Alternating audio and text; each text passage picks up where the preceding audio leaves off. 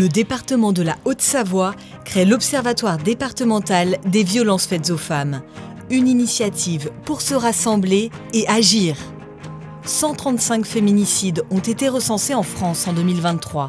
Parmi l'ensemble des victimes de violences conjugales en Haute-Savoie, 601 d'entre elles se sont déclarées auprès de la police et 1031 auprès de la gendarmerie. 80% de ces faits relèvent du pénal.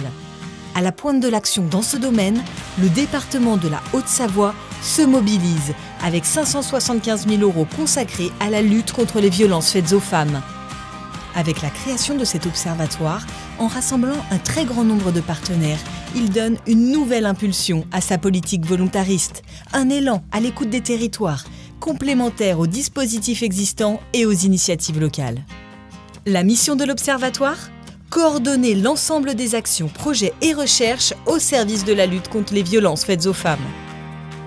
Ces orientations sont prévenir et repérer les situations de violence, améliorer l'accompagnement des victimes et des enfants co-victimes, lutter contre la récidive avec une volonté courageuse d'investir dans la prise en charge des auteurs de violences, coordonner et former les intervenants concernés par le sujet.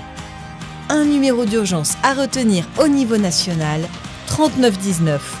Tous mobilisés, tous concernés.